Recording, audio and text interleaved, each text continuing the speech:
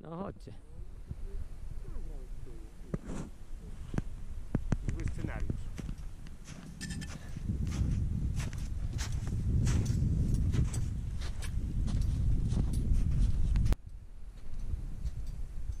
To my tam idziemy?